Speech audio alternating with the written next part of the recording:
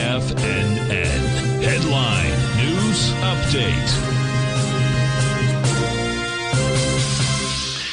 Good morning, folks. Steve Rhodes coming to you live from the shores of a very sunny Delray Beach, Florida. This is your 11 a.m. update. Now, we got a slightly mixed bag out there. The mix goes like this it's the uh, transports that are trading off about 37 points. Otherwise, the other U.S. indices right now trading to the upside. Dow's up 40 points, S&P's up 4, NASDAQ 116, Russell's up 2, semis are up 13 points. You've got gold up 32 bucks, silver's up a buck, light sweet crude is up 14 cents, natural gas is up 10 cents, the 30 year treasury down eight ticks, printed out at 117.21. Let's try to figure out what all that means by looking at that nine panel market update chart. We begin with the ES Mini. Yesterday completed a TD9 count top. Price were to close above 53.49, it negates that signal and talks about a strong upward momentum move for the ES Mini.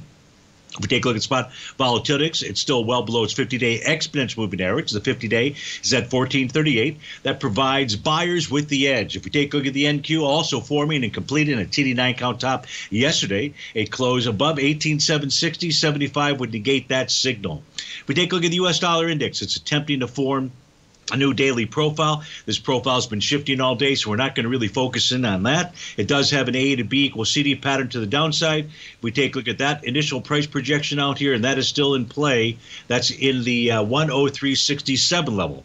Goldilocks having one heck of a rally, running right up into the top of its daily profile. The top of the profile is at 24.20.40. We're trading right now at 24.19.10.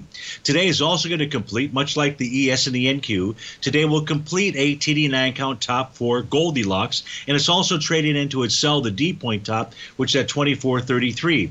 Silver having another miraculous day. It's got an A to B equals CD pattern to the upside with an initial price projection of 34.03. However, today is going to complete a TD9 count top as well. Light sweet crude is trading with inside its profile. It's a new profile formed yesterday. It is bearish in structure. It has a sell zone between 78.54 and 79.47, and the buy level is at 76.98. We can also see that light sweet crude is running into a trend line resistance level.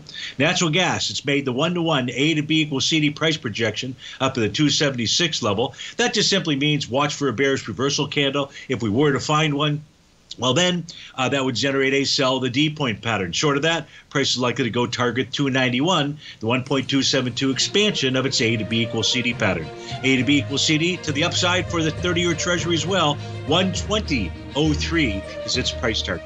Folks, stay tuned for the Trader's Edge show, if you will. But if you have to start your Friday, please have a fabulous and a fantastic one. And we'll look forward to speaking with you again soon. Take care now.